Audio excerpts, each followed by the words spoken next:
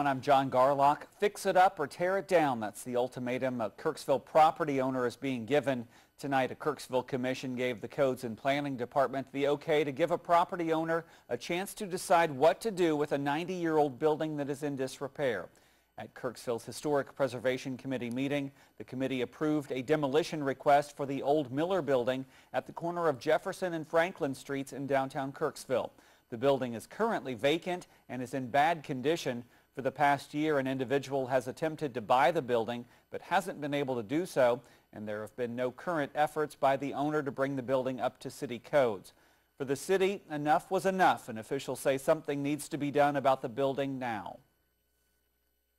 The condition of the building is just not good. It is an eyesore. We've got complaints, and uh, people in this community, everyone knows what it is. So I think it was a tough decision for some, but I believe they made the right decision. I'm glad they did, and hopefully we can get something done.